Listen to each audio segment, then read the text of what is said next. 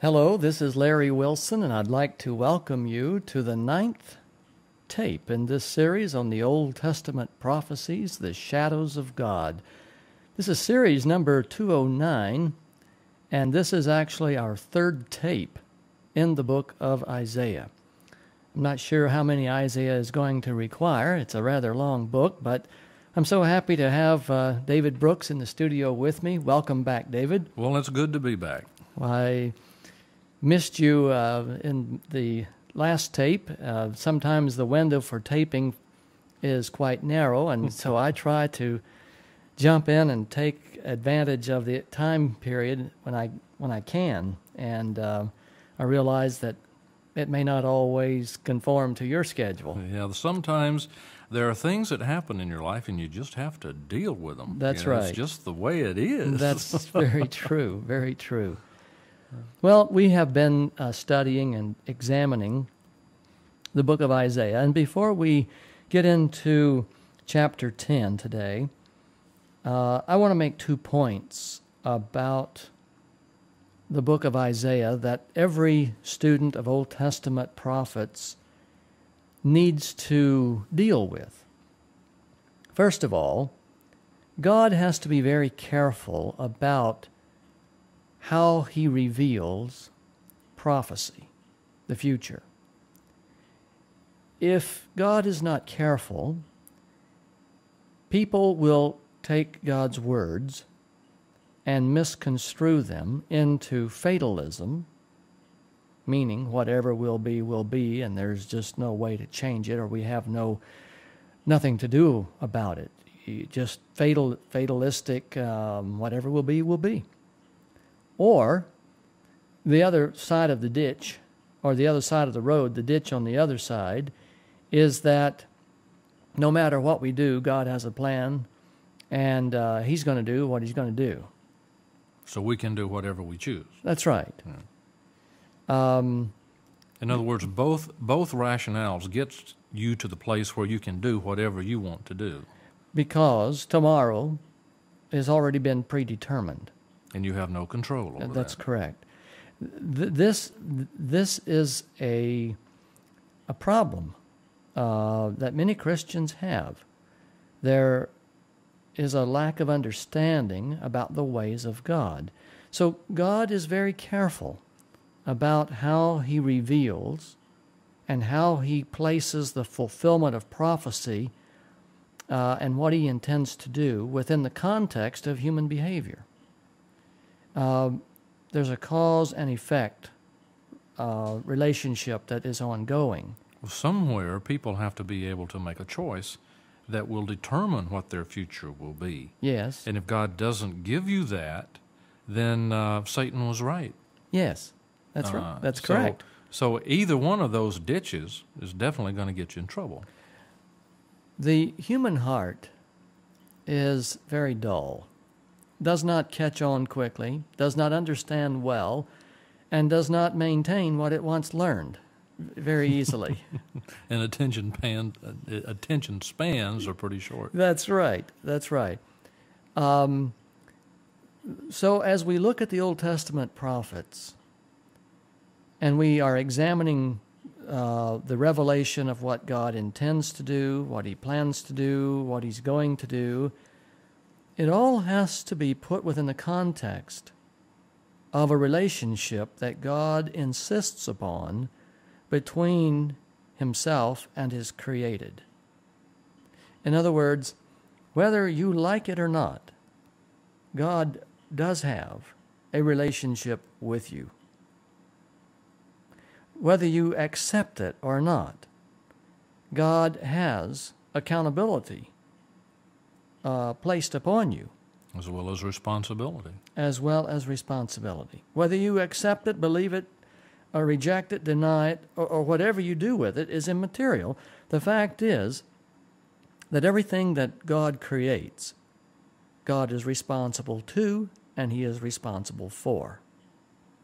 And the Old Testament prophets clearly confirm that, uh, for example, when we talk about the heathen nations, the Assyrians, and we talk about the Egyptians and the Moabites, and etc., they deny the, the, the presence of God. They deny the, the sovereignty of the Most High. It's immaterial. God has a relationship with them, regardless of whether they have one with Him. And um, so God's actions and behavior cannot uh, be correctly understood and put within the framework of what His character and His ways are like unless we survey the big picture. And uh, going through Isaiah chapter by chapter, and uh, Jeremiah and Ezekiel will force the big picture. And I hope that our listeners will be patient and will be persevering to uh, pick up uh, as we go through these things how this really comes together. The second thing that I want to say about um, the book of Isaiah and these other prophetic books is that if we were to just study secular history, we would not be able to understand why things happened the way they did. For example, we've talked about this before. You can look at the fall of the Babylonian Empire as simply the fact that the Medes and the Persians became stronger. Secular historians would chronicle the fall of Babylon on the prowess of Cyrus and Darius. And probably on some economical uh, equation that goes back into the devaluation of some currency. this, that, and the other. Well, they would search for all kinds of of answers, but only from the limited view of the human eye. Mm-hmm. The Bible, on the other hand, gives us the third eye, the all seeing eye, which, from God's perspective, uh, when you read Daniel, for example, chapter 5, when Daniel is called before Belshazzar, you know, uh, Belshazzar, and and he reads the handwriting on the wall. And Daniel turns to the king and he says, King, you have known since you were a child how God humbled your grandfather Nebuchadnezzar. But you, O king, have not paid attention to the authority of the sovereign God, the one who rules over the kingdoms of men, and he has weighed you and found you short of a balanced measure. Therefore, tonight, this very night, the God of heaven is taking the kingdom from your hand and giving it to another. With that third eye, the prophetic eye, the all seeing eye, we, God allows us to understand why Babylon fell that night. He is the one who brought about the fall of the, of the Babylonian Empire. He's the one who brought about the fall of the Medo Persian Empire and the Grecian Empire and the Roman Empire, and ultimately the bombing of Yugoslavia. Mm-hmm. It has nothing to do with economics. No. Basically, what it has to do with the condition of the uh, currency of love Yeah. or the currency of hate. That's correct. Um, Milosevic, you know, bringing this down to our current time, the conquest in Kosovo and the the bombing of Yugoslavia, you know, for seventy some odd days. Um, all of this, if we could pull the curtain back and see God's involvement in all of life, our amazement our astonishment at how interested and how involved God really is would be overwhelming. And he allows these things or sets them up to happen in order to control a certain amount of evil That's correct. on some level That's correct. to keep it from getting out of hand. Right. Um, I think the um, the earthquake in Turkey Yes. that uh, everyone is reeling from this week. Uh, I don't know what that means on a theological basis, but when you see perhaps 45,000 people are dead, practically that entire country has been hit by this thing. And when you have homes, uh, condominiums where people's uh, their particular unit in that condominium was worth uh, you know one hundred fifty thousand dollars, and they just had a two bedroom section of it, and this thing is eight story tall, and the whole thing pancakes down, and traps whoever is in it, and they're already bringing all the research the search people home, and they're just leaving the uh, the bulldozers and the uh, the big track hoes and all that stuff to dig it out. Uh, disease. I understand now that one of the rescue workers has come down with typhoid and has been uh, quarantined. So it's not over yet. You you kind of wonder what is behind that curtain that God has been looking at that uh, is the bank account of evil. What at what point in time did did something cross the line and it just got away and God had to deal with it? I can't answer that. Right. No, none of us can at, We- on, on this side. We just can't do it. We don't have the, the insight right. uh, to do that. Whether the earthquake was divinely mandated or whether the earthquake was um, the result of just tectonic forces adjusting. Well, geologists will say that they've sucked so much oil out of the ground that the plates start moving. You know. Yes, yes. There's all kinds of explanations for it. Um, we, you know, at, at this point in time, we really can't we really can't say what was the reason behind it. Uh, the story of Job, you know, is not to be confused with the um, affliction, let's say, of the king. Who was it? Um, whose hand withered while he was at the altar. Uh, was it Rehoboam, uh, if I remember right? Um, God inflicted a suffering upon him uh, immediately because of his rebellion. Well, Miriam, Miriam be- was Miriam had the leprous. same thing. That's correct. Miriam was, became leprous. Um, whether you can't honestly, you know, say from Scripture that every leper is under the condemnation of God. Absolutely, that is correct. So So you really can't say that every earthquake or every hurricane or every tornado. that's correct. Right. That's correct. Uh, all that we can say, um, taking the Scripture as our basis, is that no matter what happens, God is present. He is involved. He is concerned. and he's interested in how people react to these things. He, he is interested that people turn to Him and be saved. You know, the loss of life is not the same thing to God as it is to us.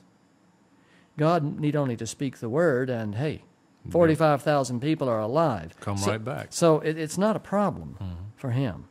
Uh, th- it's the finality of it for us that, that sort of gives us the um, pause, t- you know, for consideration.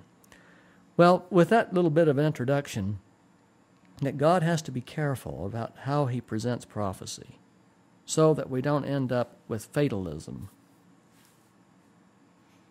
or uh, predestination. or, or predestination.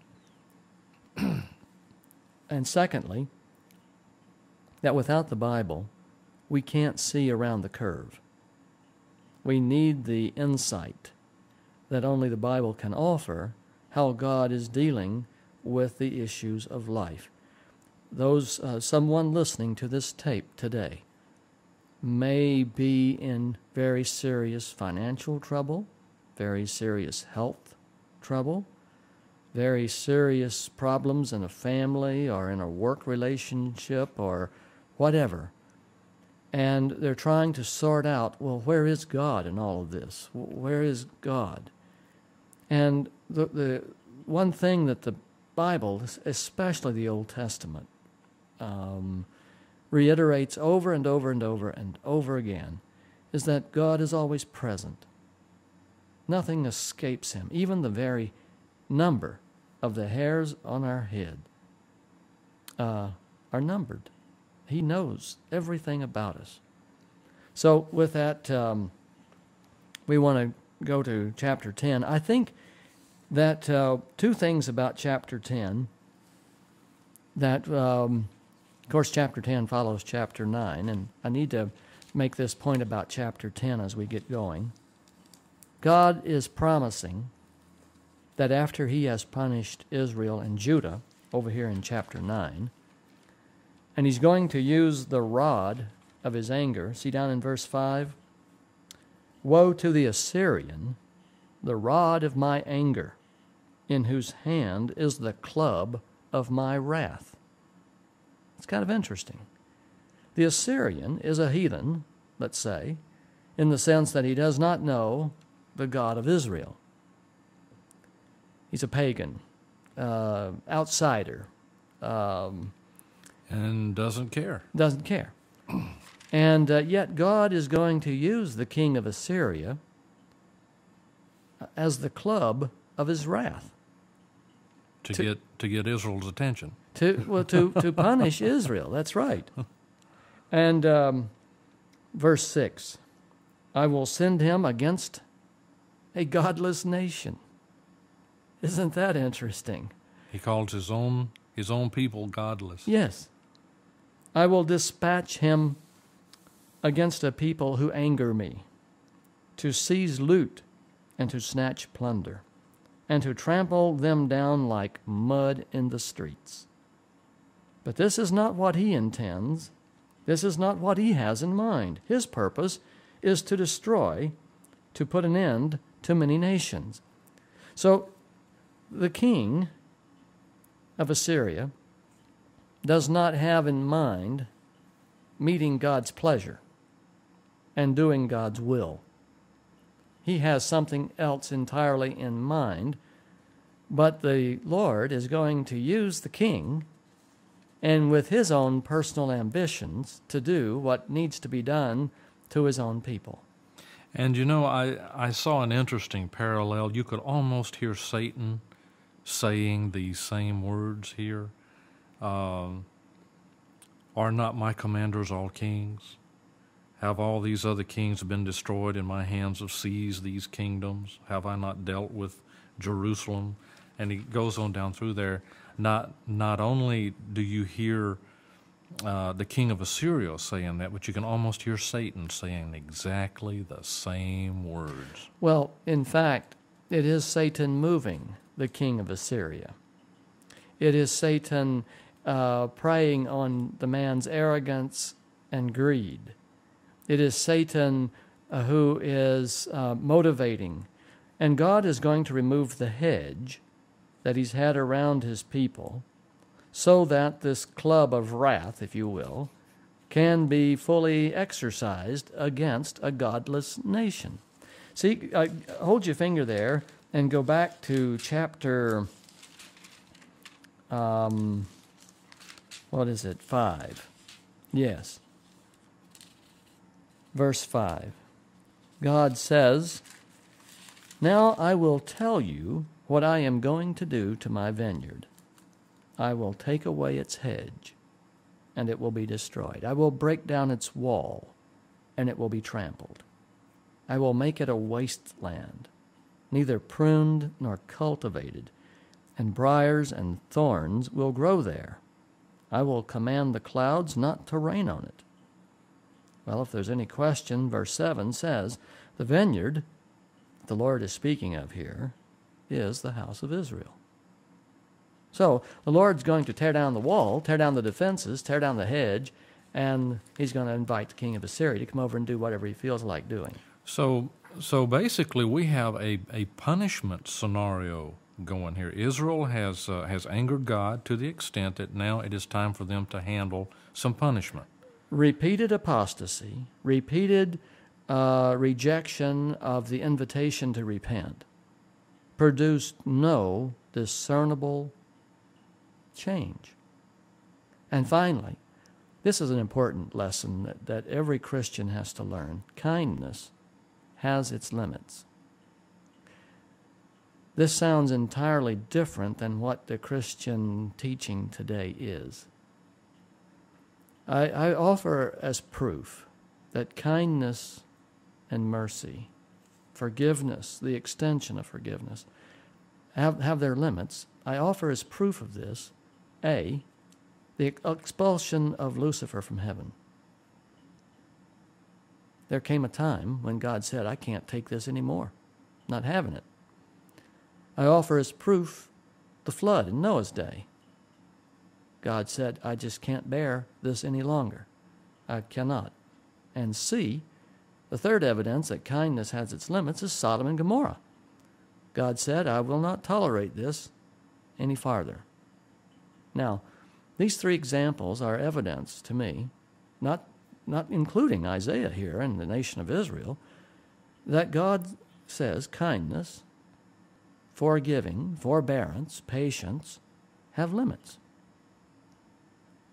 And when that where that limit is, where that line is, is that is this.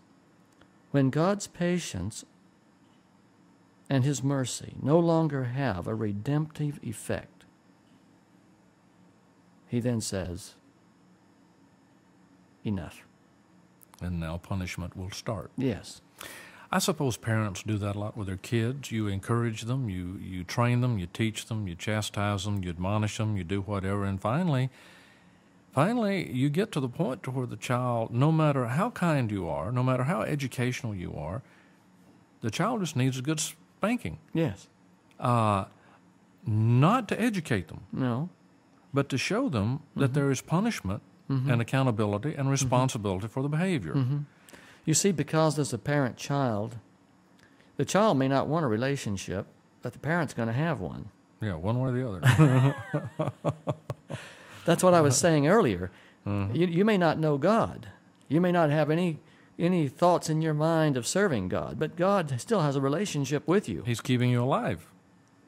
He made you, Yeah. and He holds you accountable, and He holds Himself responsible, Mm-hmm. and He will deal. And, and this is the point with Israel. Israel. Israel has come to the place where it, it is so recalcitrant, so hard-hearted. So arrogant. God says, I'm going to send the king of Assyria against a godless nation. I, I think that just nails, the, you know, is the nail in the coffin that seals it off. So here comes the king of Assyria, the rod of God's anger. And, um, and the king of Assyria, of course, is all pompous and arrogant, you know, just a strutting peacock, thinks he's, thinks he's God. You know, there, Here's a sentence that I find to be so true Man would be God. every chance he gets. Look at look at look at this verse here. By the strength of my hand I have done this, and by my wisdom, because I have understanding, I removed the boundaries of nations. I plundered their treasures like a mighty one. I, subju- I subdued their kings. I reached into a nest and gathered abandoned eggs. So I gathered all the countries. Not one flapped a wing or opened its mouth to chirp. This is the king of Assyria, see, boasting Yeah. in his great conquest about how tough he how, is. how marvelous he is. He, uh, he he's very fascinated by everything he has to say. Yes. a legend in his own mind. That's right. Um, notice, though, verse 12. Back up to verse 12. When the Lord has finished all his works against Mount Zion and Jerusalem, he will say, I will punish the king of Assyria for the willful pride of his heart and the haughty look in his eyes. Two things out of that. Number one, God has a schedule for the work that's going to be done on Zion. It will be finished. It will accomplish what it's supposed to do. And then he'll deal with the king of Assyria after that work is done. And he is justified in dealing with the king of Assyria because actually the king of Assyria is dealing with Israel for the very same problems. Isn't that interesting? Yeah. What goes round comes round. Mm-hmm. The king of Assyria has the same identical problems that Israel has. It's the problem of mankind. We all are, are cursed with it, especially when you get into politics and wield power.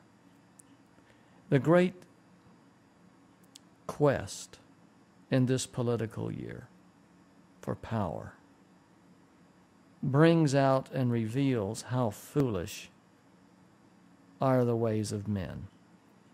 Politicians will be taking credit for every good thing under the sun. And blaming somebody else for all the bad things. Yes. And they all voted for them. yes. You know, I think it would be really cool if I were running for president um, in this coming millennium. And in this particular case, we have an outgoing president who, aside from some personal indiscretions, um, has managed to keep things moving along uh, with God's help. Um, or I should say, God has kept things moving along with Bill staying out of the way. in, in spite, In in spite of our president. Uh, the, uh, what I'm trying to say is that from the politician's point of view, uh, I think I would say, look, we've had uh, a tremendous eight years under the reign of President Bill Clinton. Employment's been good, the stock market's been good, the economy's been good, jobs are good. America's done well. Now, if I were a Republican, George Bush running, you know, George mm-hmm. W. running, I would, I would say, I intend to walk in his shoes. How much better can it be? Rather than taking the other side of the coin and saying, look how bad it is. Mm-hmm. Because the fact is, at the end of every eight year term, you, you know, it's always bad if you listen to the opposing party. The uh, the problem is though it's really not the politicians who make the things happen. It's the embedded civil servants Yeah. who make things happen. You know, Right, the the politicians go and come, they're in front of the camera, but the people who are there as civil servants for 30 and 40 years, you can enact any law you want to, but if the civil servants just sort of conveniently can't find the money Mm-hmm. to make it work, eh, maybe we'll do it, maybe we won't. Yeah. I have been there and seen it. I know. I've, Yes. I've actually had people tell me that. Yes, yes. The Lord looks down upon the kingdoms of men, and there have been very few kings who have been humble in their hearts. Well, you have to understand it is a very alluring thing. You you can go up there with the best intentions in your mind as to what you're going to do and how you're going to do it and how you're going to respond and how you're going to behave. But you live up there um, about six months, and with everybody treating you very nicely and taking care of all your needs and all of your wants and making sure that that all the nice things happen for you and to you. Um, after a while, you get spellbound by that stuff, and uh, it's tough. What is it? The old saying, power corrupts, hmm and absolute power. Corrupts absolutely. Yeah. It'll Yes. do it. In uh, verse 17 of Isaiah 10, the Lord declares that um, He's going to destroy, utterly destroy. And His destruction is sort of like a chain, um, a sequence of events. He's going to use Assyria to punish Israel. Then He's going to use Babylon to punish Assyria. Then He's going to use the Medes and the Persians to punish Babylon and on and on and on. So we have God setting up kingdoms, God taking down kingdoms. Um, jump over to verse 21, and the Lord makes a promise. You know, this is the neat thing about God's chastening or his discipline. He always brings promise. A remnant will return, a remnant of Jacob will return to the mighty God. Though your people, O Israel, be like the sand by the sea, only a remnant will return. Destruction has been decreed, overwhelming and righteous. The Lord, the Lord Almighty, will carry out the destruction decreed upon the whole land. When the time comes for the destruction of the United States and the rest of the world, it will take place. It has been decreed, incidentally. And it will be overwhelming It will be overwhelming and righteous. and righteous. I believe that um, the decree to bring destruction upon the earth, the entire earth, including the United States, became effective in heaven's court in 1994. We're living on borrowed time, waiting for the Sealing of the 144,000. I believe that the seven angels that were given the seven trumpets in Revelation chapter 8, starting at verse 2, when the time came for the implementation of God's wrath, they were prepared to do their work of great harm immediately. immediately. But And as they go forth to conduct this harm, word comes wait, hold back until the 144,000 are sealed. Now, when they are sealed, then the commencement of the Great Tribulation will commence. We are living on this at this very day in that time period where the judgment overwhelming and righteous, has been decreed. But God tarries. We see a parallel with this in the ancient history of Israel. At the end of the 70 weeks, even though Israel had rejected the Messiah and had refused to accept him, God did not immediately destroy Jerusalem in AD 33 or 34.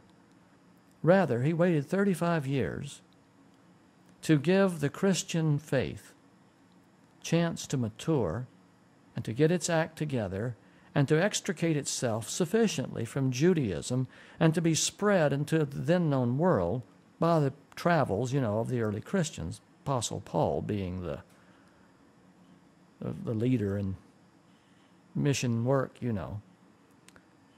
Um, when the Christian faith had reached a certain level of development, so that by tearing out the command and control center at Jerusalem, where the, most of the apostles continued to live, God would not destroy the very movement that he had put in place, you know, to flourish throughout the earth. So God waited for 35 years to bring about the destruction of Jerusalem, and then he utterly destroyed it. In a similar way, the date for the destruction has come. We are living under the um, sword hung by a thread. and uh, God could have, could complete, could finish the sealing of the 144,000 uh, any day, any moment. It is only by divine mercy that we have this lingering, this pausing. And something for us to remember when it does occur. I guess it's one of those things that we need to accept.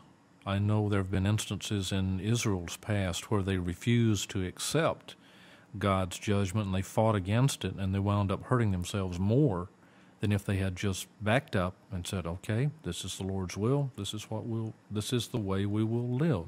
The best one can do is to cooperate with God. Absolutely, no matter which way it goes. It, as a matter of fact, if you look further on in 24 and 25 verses, mm-hmm. the, the verses mm-hmm. here, do not be afraid of the Assyrians who beat you with a rod and lift up a club against you. Very soon my anger against you will end, and my wrath will be directed to their destruction. That's right. And that's what's going to happen Yes. in the future. At some Yes. point in time, there's going to be an awful lot of death and destruction. Uh, in the world as we know it today, and um, and th- there's really no need for us to to fear, because God is in control. Uh, those who are to die will die. Those who are to be captive will be captive, and the rest of it goes on. But it is decreed that this is going to happen. The sovereignty of God will be fully um, disclosed. I mean, and He has the power of life as well as the power of death. hmm And I would rather trust Him with that power than anybody else that I know of. Amen. In chapter 11, we come back to the hope and to the promise of restitution and restoration. A shoot will come up from the stump of Jesse, and from his roots a branch will bear fruit. Uh, verse 10 In that day the root of Jesse will stand as a banner. For the people, the nations will rally to him, and his place of rest will be glorious. In that day, the Lord will reach out his hand a second time to reclaim the remnant that is left of his people from Assyria. God is about to bring destruction upon Israel, and yet he is still holding out the promise that through Israel will come Messiah. That's what the branch, the little shoot coming out of the stump of Jesse, the root of Jesse. Um, verse 12 He will raise a banner for the nations and gather the exiles of Israel. He will assemble the scattered people of Judah from the four corners of the earth. Ephraim's jealousy will vanish, and Judah's enemies will be cut off. Ephraim will not be jealous of Judah, nor Judah hostile toward Ephraim. This is referring to the anger and hostility that existed between the ten tribes to the north and the two in the south. Then the Lord will dry up the gulf of the Egyptian sea. With a scorching wind, he will sweep his hand over the Euphrates River. He will break it up into seven streams so that men can cross over in sandals. There will be a highway for the remnant of his people that is left from Assyria, as there was for Israel when they came up from Egypt. What God is alluding to here is a time is coming when he is going to establish his own kingdom upon the earth. And all the people of God from all the nations will stream into the holy city. Um, he will gather from the four quarters of the earth, not the Jews biologically, but the Jews spiritually. This is where some confusion exists. Let me point this out, David, in the last few minutes we have on this side of the tape. See in verse 10, we're talking about the root of Jesse will stand as a banner. Let me explain that.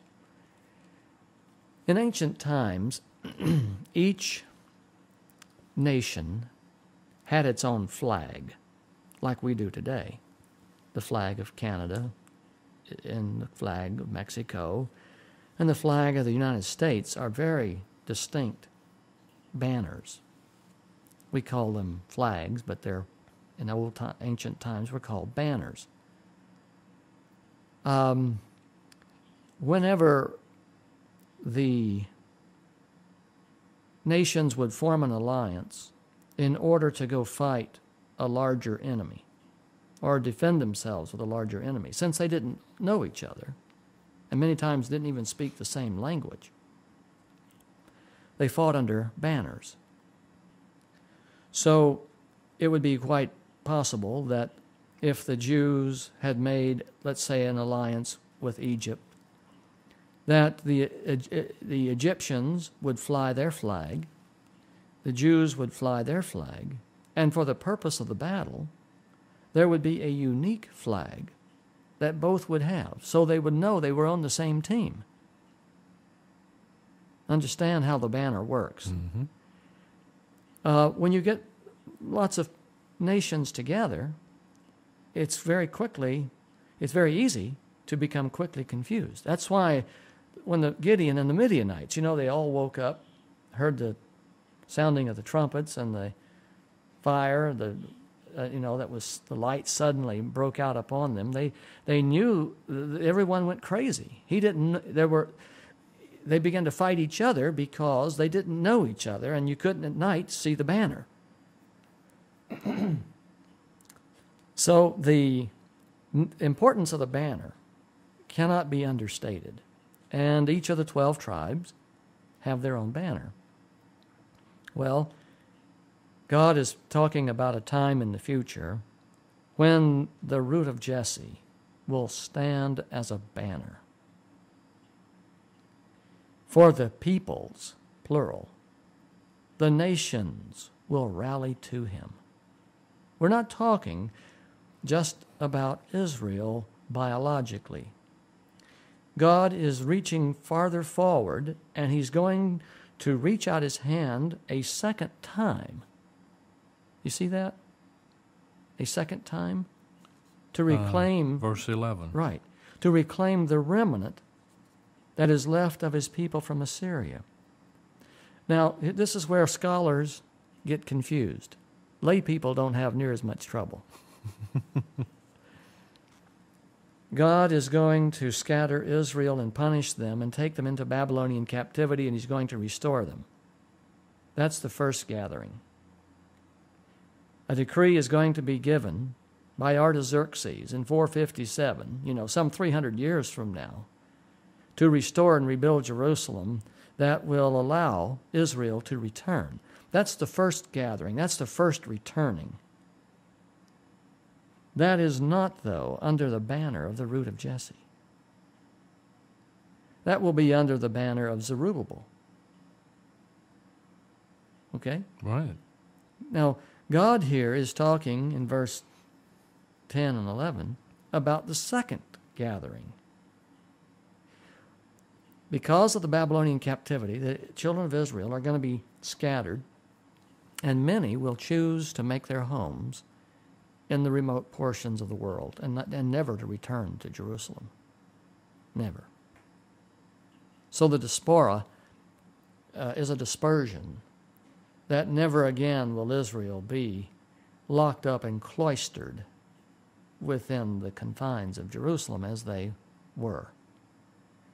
God is going to bring back a remnant from Babylon to rebuild Jerusalem.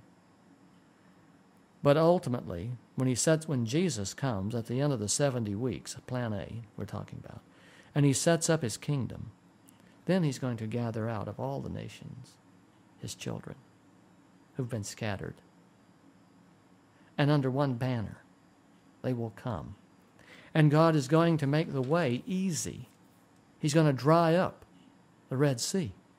He's going to dry up the Euphrates so that there will be no obstacle for those who want to be under his banner.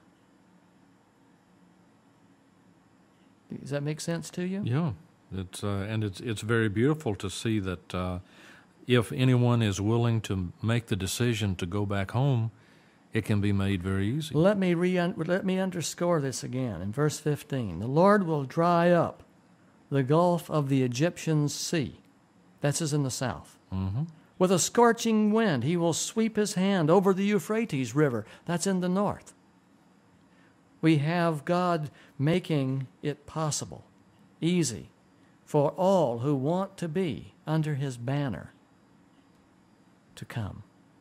In the time period of the Great Tribulation, God is going to make salvation enormously easy for people who are willing to come.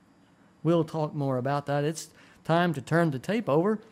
We will pick up with uh, chapter 12 uh, when we resume. Let's take an intermission and then we will continue. Welcome back to the second half of tape number 9. This is in the series 209 titled Shadows of God. We're actually in the third tape on the book of Isaiah, And uh, we want to take a few moments and refresh the minds of our listeners with the concept of Plan A, Plan B. I'd like to first put it in perspective that Isaiah is living in around 730, 720 BC at the time we're having discussion here. Uh, Shalmaneser V destroyed the kingdoms of Ephraim, those ten tribes, in 722 BC. King David ruled on the throne of Israel uh, about 275 years earlier, around 1000 BC. So we're about 275 years from David in the process of time, the passage of time. Israel and Judah have um, filled, or Israel, the ten northern tribes, have filled their cups of sin or iniquity, so much so that God is destroying, going to destroy them by the, using the king of Assyria. And the apostasy of Judah is well under, you know, underway. Knowing that God is going to destroy them, uh, this destruction is symbolized as the chopping down of a great tree, the toppling of a great cedar. Cedars are particularly notorious for being enduring and drought and disease resistant. I mean, it's hard to kill a cedar tree, and they'll grow anywhere. And uh, to cut a tree off um, was like the same as toppling a nation. The, the symbolism was used. You might remember that um, Nebuchadnezzar was like a great tree, and the Lord chopped him off and put a band around the tree, indicating that um, one day the tree would be used again.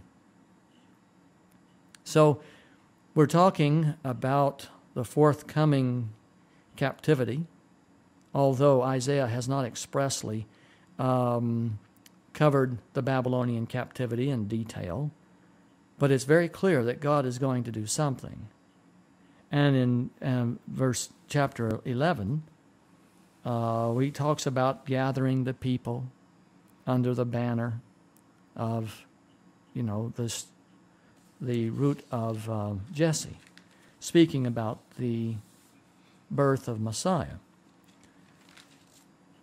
Let me just refresh a little bit about Plan A.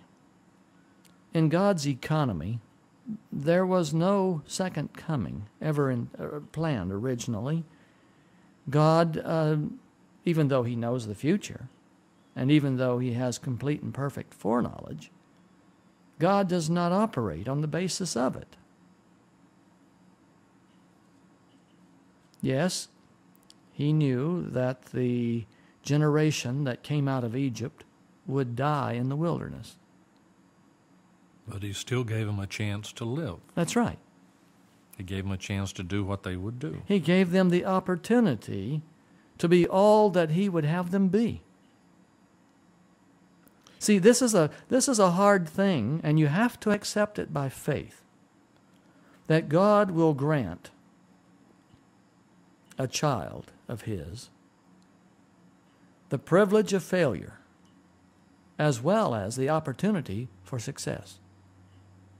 Even though he knows the outcome, God will nevertheless offer the privilege of failure or the opportunity for success. That's what free moral agent is all about. Being a free moral agent, you can choose rebellion or you can choose submission to the will of God. And like a child, how will you ever know the outcome of what a decision would be? Um, if you never let your kid drive because, well, I'm afraid he'll wreck the car, Yeah, it's like my dad saying when we were kids, I'm not, I'm not going to let you go swimming until you know how. Yeah, how does that work? yeah. and it's, it's, it's kind of like, well, I would hire you, but you don't have any experience. Right. know, I- right. I mean, I like you. Yeah, you're a nice kid, but hey, You know nothing. you know, how can I hire you? Well, how are you ever going to know anything? How are you going to get three years of experience Yeah. unless somebody somewhere hires you? It's, it, it's the same way here. God has to give you the opportunity to make that decision so that when it's all said and done, you can look at it and say yourself, either great, I made the right decision, or oops, I messed up. Because if God comes along and just says, Well, I, I know in advance that you're going to mess this up, well, that doesn't do anything for you because you're going to constantly think, Well, I might not have messed it up. You know, God, uh, God is not so interest, much interested in the um, the outcome of life as he is so much interested in the process of life. Because he can take us wherever he wants us to end up if we are willing. And at what point are we going to be willing to let Him lead? You see, but some parents have very high goals for their children, and they impose these goals upon their children With high expectations. with, with very high and demanding expectation. And they drive the child or children to meet those expectations, and they call this training. They call this um, parenting. They call this all kinds of words to cloak what is really little more than slavery. you will do this. That's right. Um, and then all of a sudden, Junior reaches adulthood. He is now expected to function as an adult.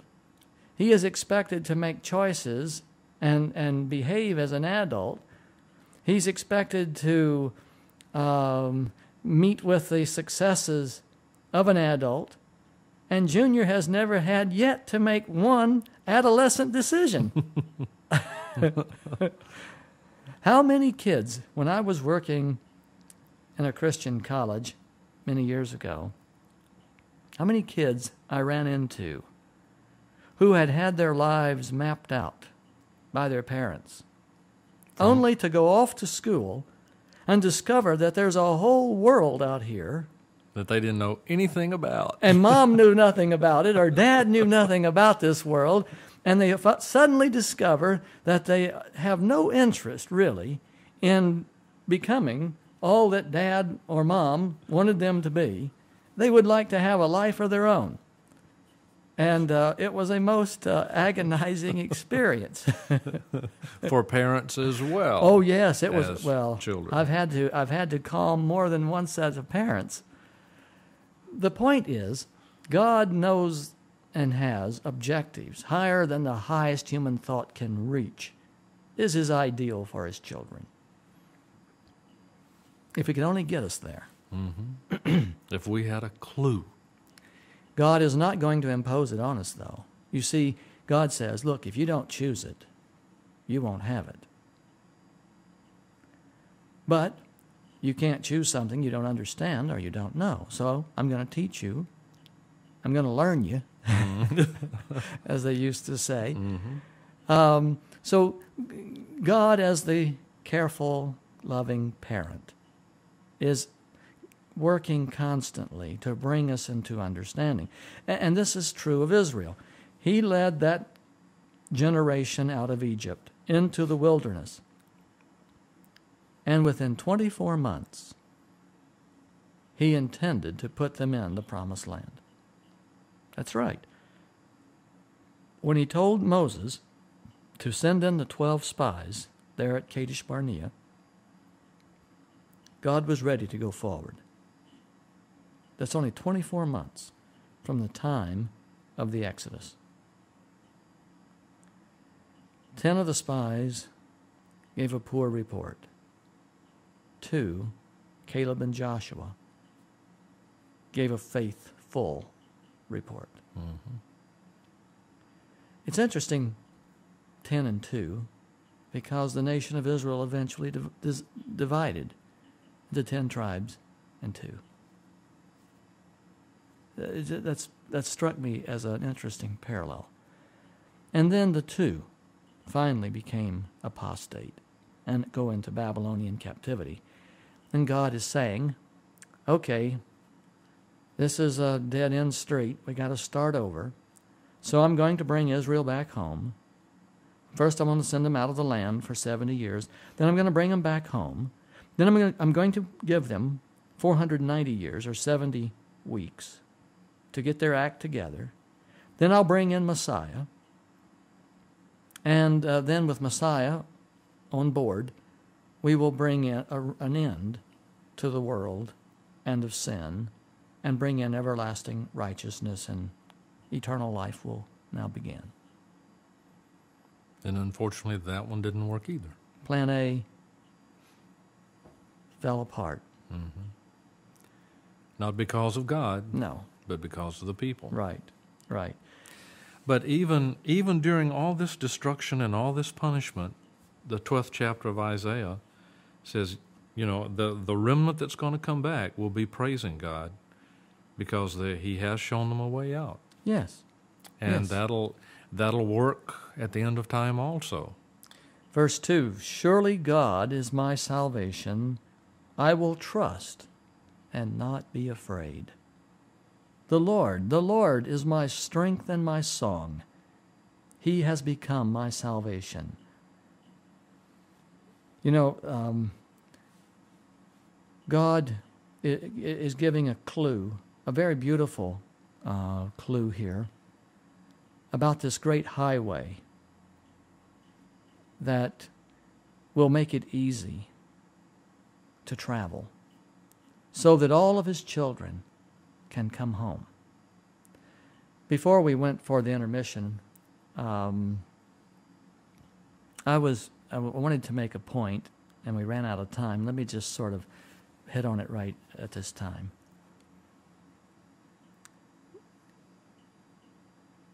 When God sets out to save to the utmost, He makes salvation so easy, so available, so within reach, So obvious. so obvious that all the sincere of heart, all of those who are accustomed to allowing the Spirit to have any influence in their lives, can see it. In the great tribulation that we are about to experience, excuse me, God is going to make salvation so easy, so simple, so obvious, so clear, that anyone who is accustomed to allowing the Holy Spirit to speak within their hearts will be saved, can be saved. The nature of man is to exclude others from the salvation that you have. The nature of religion is to say, here is the right way, all others are wrong. It is the nature of religion to become exclusive and separate so that others cannot, until they agree with you, enter in. God is going to crush that entire mindset in the coming Great Tribulation. And God is going to show the world that there are people um, in every religious system and in every place who will receive salvation on his terms if they are only informed as to what those terms are. The 144,000 are going to present a message that is so simple, so plain, so obvious.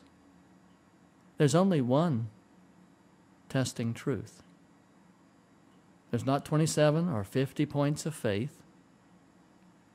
There's not even five essential doctrines. There's just one testing truth. And that is will you worship God according to his command? And it's going to change an awful lot of paradigms. The way people have thought about religion and the way people have thought about God and about what is right and what is wrong. And, and it's going to change, uh, uh, it's something that's going to be forced for them to look at it because everything else has been torn down.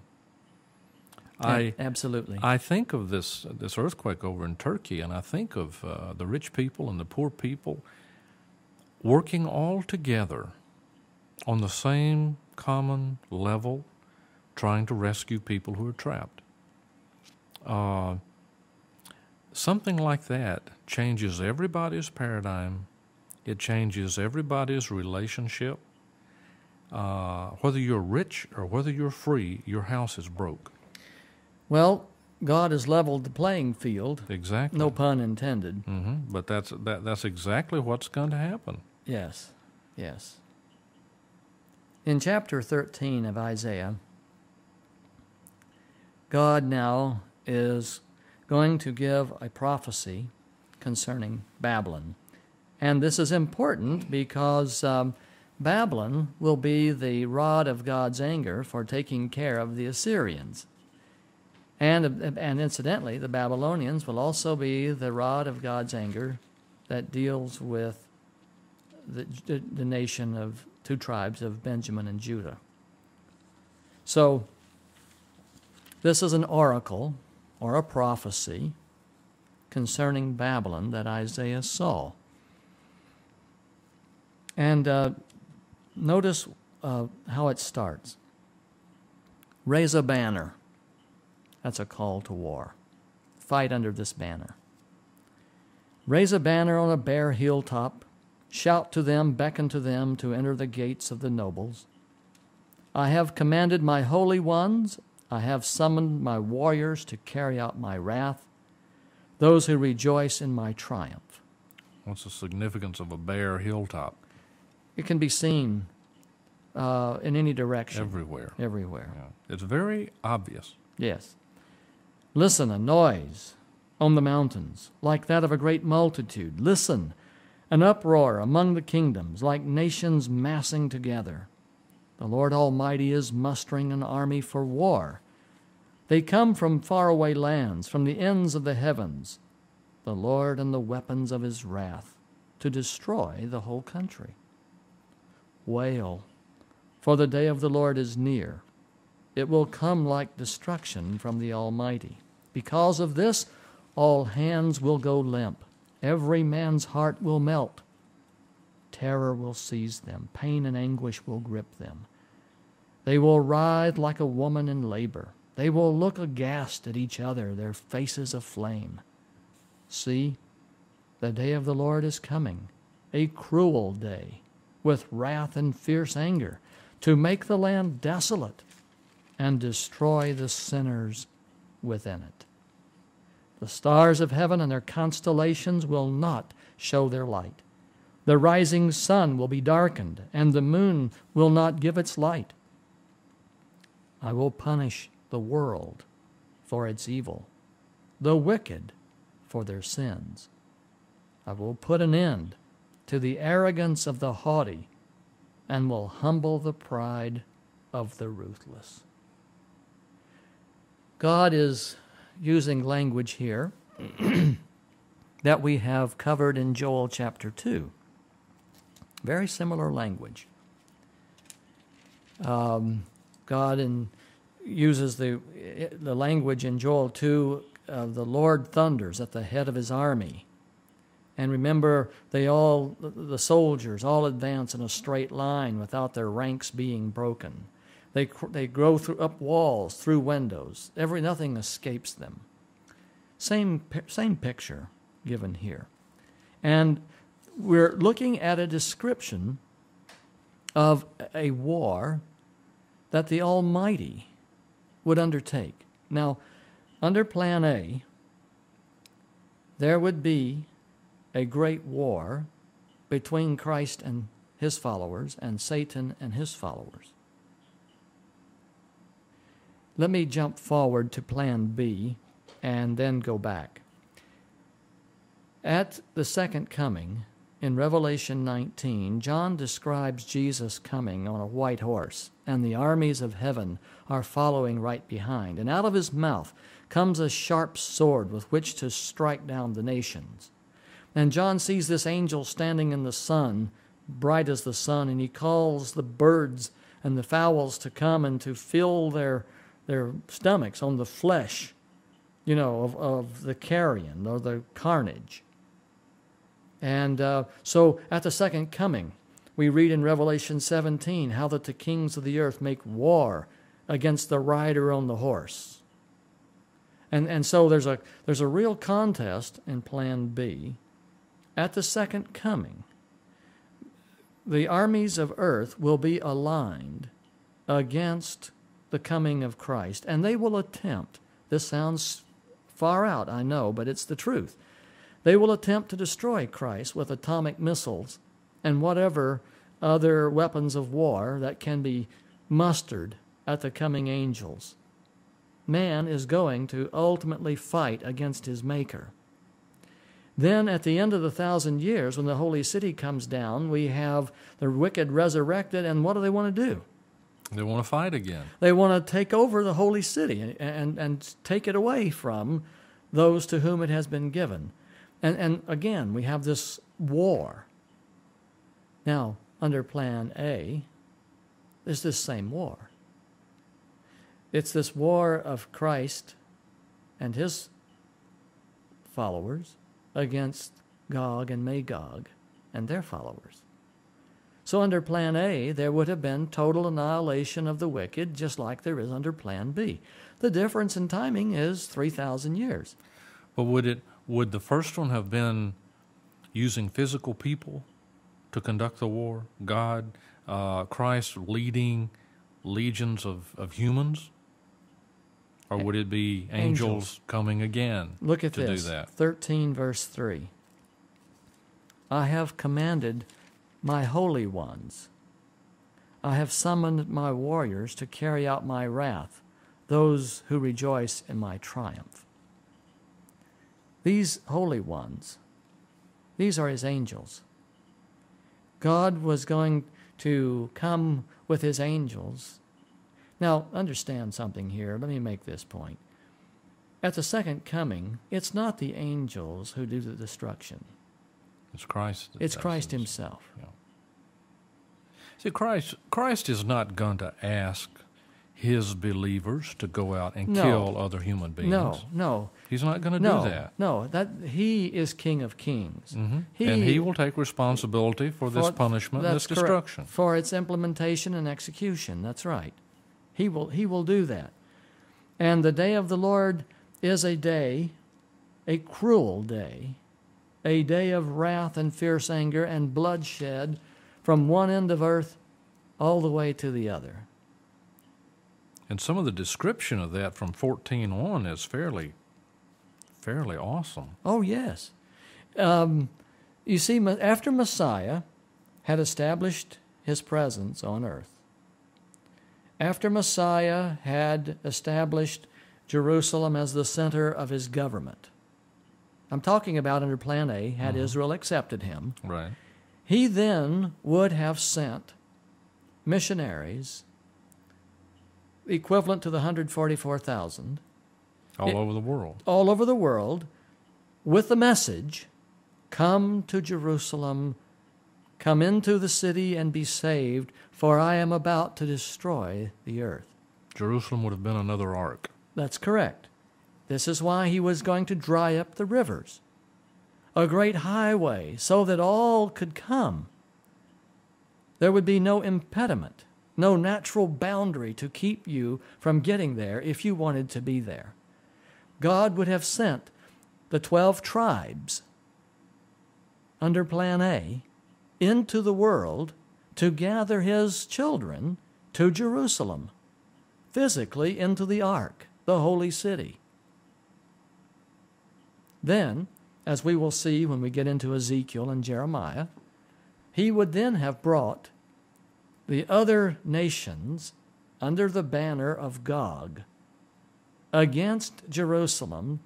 And this is where then God brings fire down out of the sky and burns them up under plan A.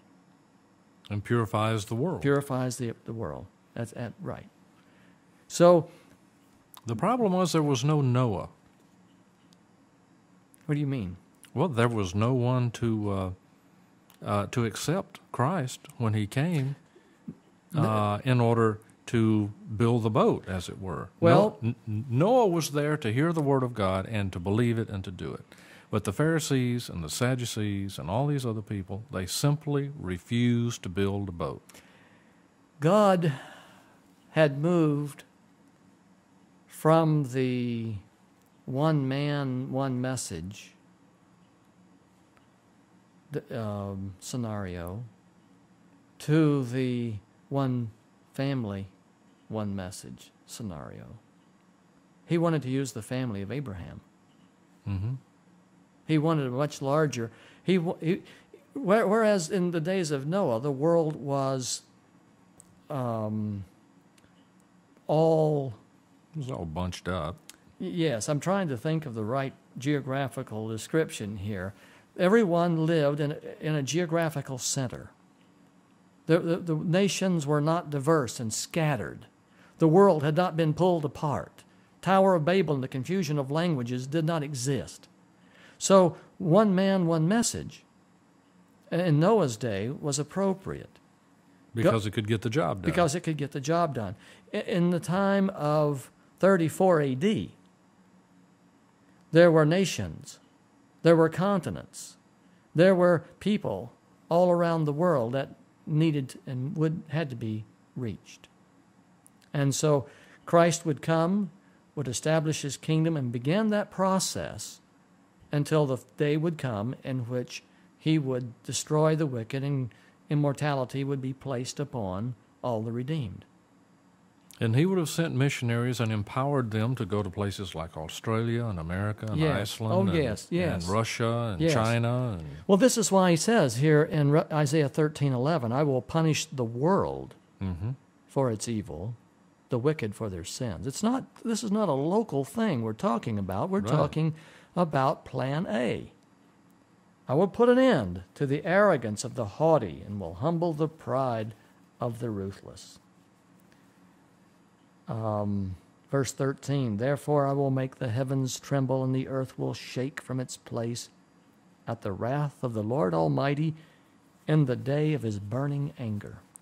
And I've had people tell me that they just cannot conceive of a God of love being angry enough to kill anybody on the face of the planet or, or, or to punish anybody. They just can't they just can't conceive of a God of love doing something like this. Well, all I can say is their conception is really ruined. Yeah, it has nothing to do with the reality of the Bible. That's right.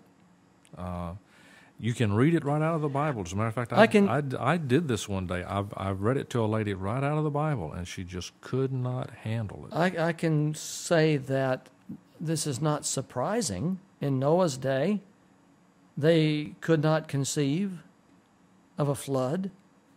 Right. Or the message of destruction. Yeah. Yeah, they mm-hmm. just couldn't, could not conceive it. But it doesn't mean it's not going to happen. Not at all. Just because you don't believe it doesn't mean it's not going to happen. This uh, prophecy of Isaiah 12 is actually focused against the Babylonians. And before God addresses the Babylonians, he, he has stated what he's going to do ultimately. Now we're going to turn our attention to the Babylonians. Verse 17. Behold, I will stir up against them, that is the Babylonians, the Medes, who do not care for silver and have no delight in gold. Which means they're after what? If they're not coming for plunder, why are they coming? They just like to beat up on people. they just like to kill people. They like dominion. It- Yeah. It's dominion. It's Sure. all about power. They, they they like the power. Yes. And and the thing that really is is kind of mind-boggling is verses 14 through 16 describes how people are going to be destroyed. Uh, What what what just gets me is that reads like Kosovo. yeah. Yeah. Children were killed, Yeah. Women were ravished. That that, that means raped. Yes. Uh, anyone who was captured was killed. Mhm. I mean, it just goes right There's no mercy. There is absolutely no mercy on either side. So the Babylonians, for all their arrogance and all of their haughty ways and for all of their grandeur and pomp, they will be brought down by the Medes. And uh, verse 19 Babylon, the jewel of kingdoms, the glory of the Babylonians' pride, will be overthrown by God like Sodom and Gomorrah.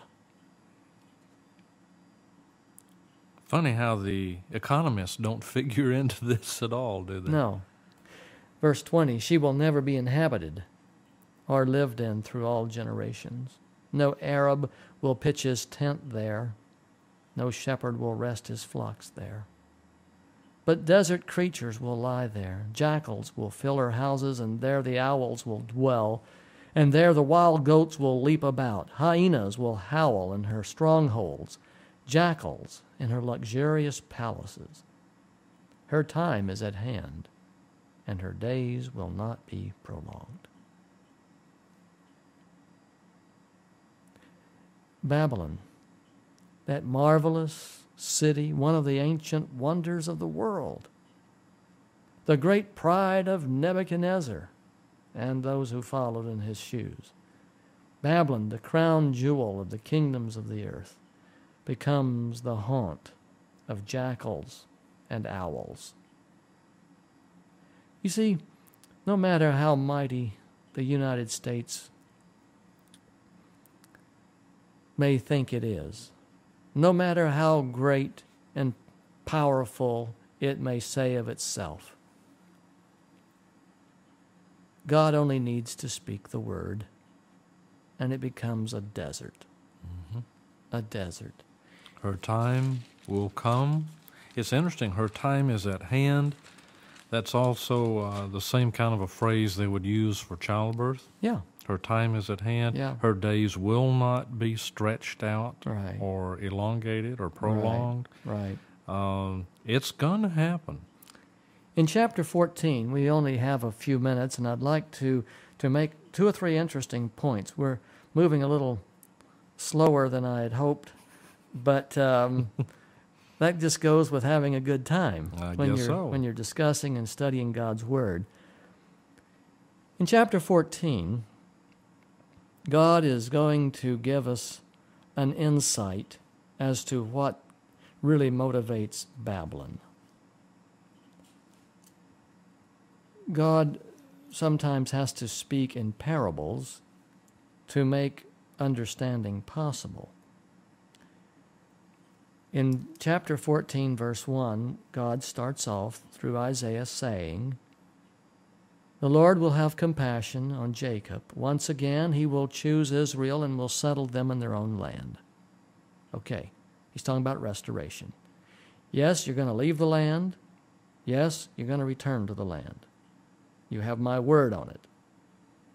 As a matter of fact, other people are going to join you. Aliens will join them and unite with the house of Jacob.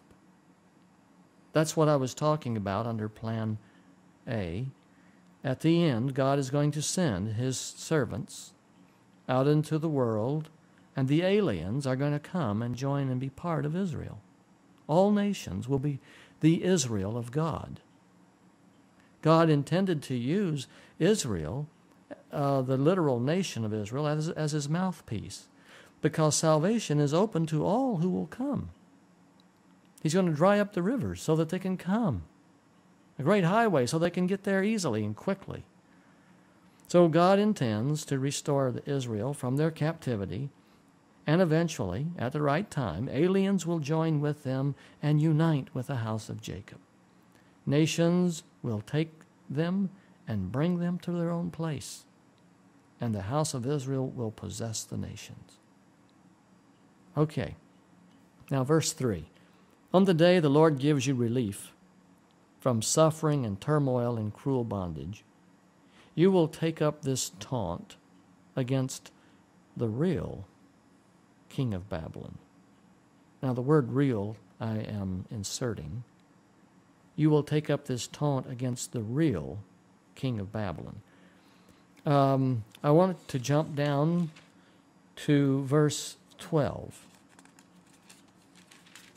How have you fallen from heaven, O morning star, son of the dawn? You have been cast down to the earth, you who once laid low the nations. You said in your heart, I will ascend to heaven. I will raise my throne above the stars of God. I will sit enthroned on the mount of assembly, on the utmost heights of the sacred mountain. I will ascend above the tops of the clouds.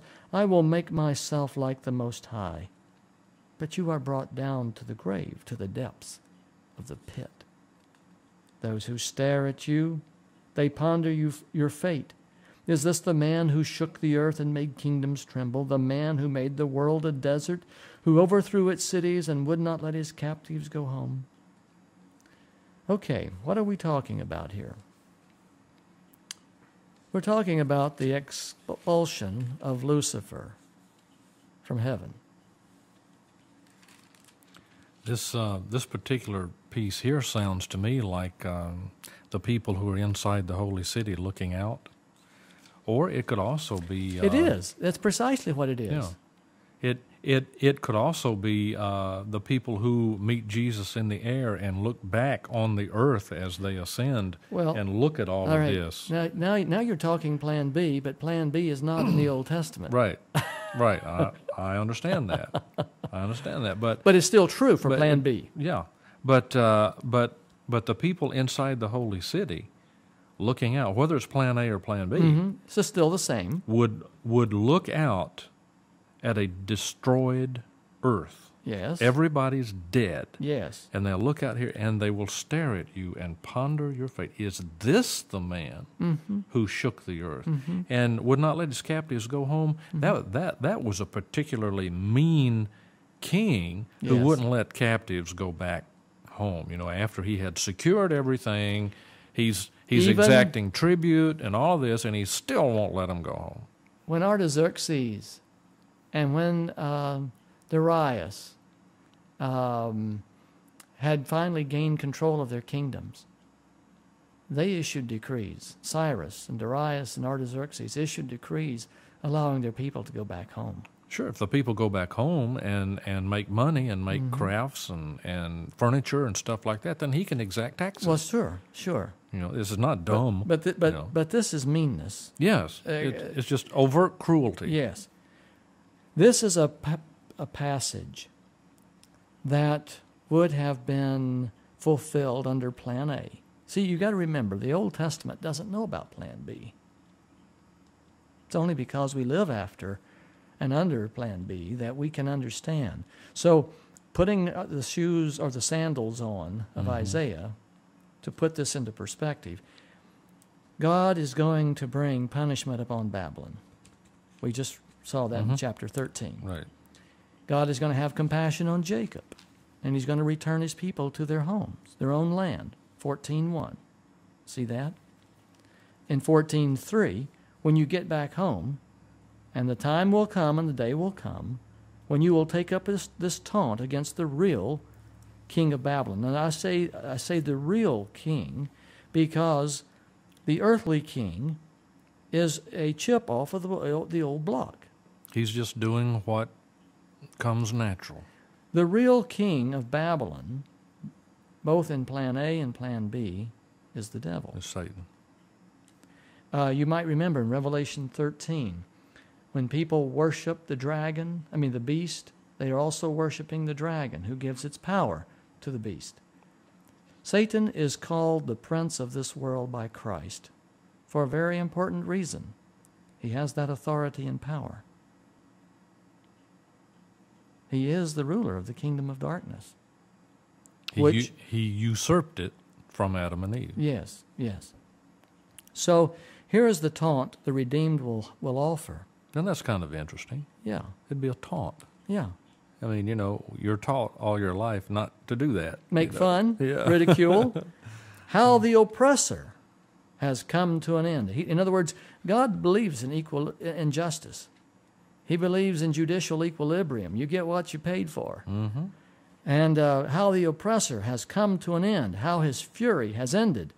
The Lord has broken the rod or the authority of the wicked, the scepter of the rulers, which in anger struck down peoples with unceasing blows, and in fury subdued nations with relentless ag- aggression.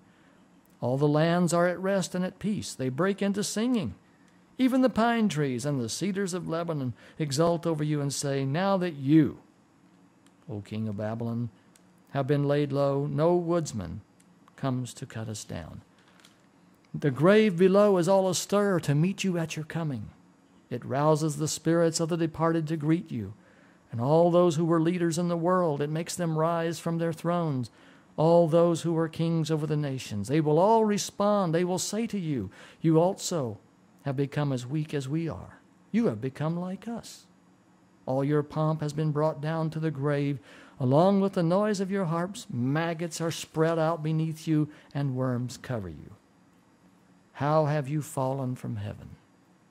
And so on. Well, we're out of time. We've got six seconds to say goodbye. we'll pick up next time in Isaiah chapter 14 because this is most important. May God bless. It's been a lot of fun to be with you, Dave. Good to be here. To you, Dave. Good to be here. To you, Dave. Good to be here. To you, Dave. Good to be here.